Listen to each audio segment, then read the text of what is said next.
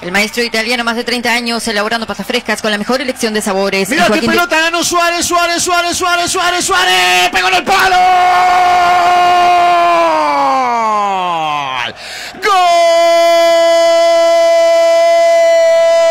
Gol. Cándido.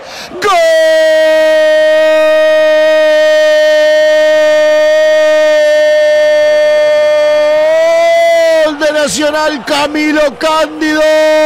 Después que Suárez peleó una pelota que ganó pese a no ser tan rápido.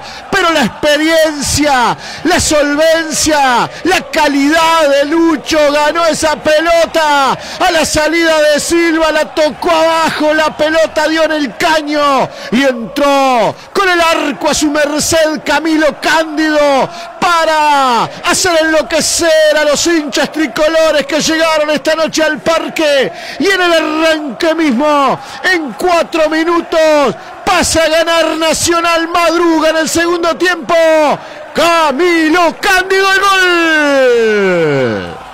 Una jugada que Suárez va a pelear una pelota que prácticamente solo Suárez puede pensar que un futbolista que está solo del equipo rival la puede perder. A Suárez en el arranque de su historia le decían el luchador, bueno, la fue a luchar, la fue a pelear, fue a buscarla, la ganó, la cuerpeó, le amagó al arquero, definió, pegó en el palo y salió despedida justo para el lado que venía Camilo Cándido, que no tuvo más que tocarla, que no tuvo más que asegurarse que esta vez sí la pelota terminara durmiendo en la red. Nacional gana 1 a 0 por obra, gracia y lucha de Luis Suárez.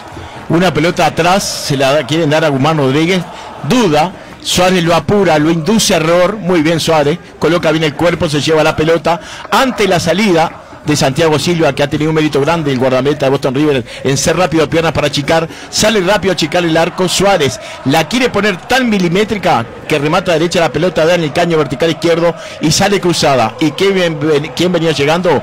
Cándido, solo para con toque zurda marcar el gol. Hacía unos minutos antes había dicho que Nacional era punzante cuando llegaba. Bueno, fue punzante y marcó el gol.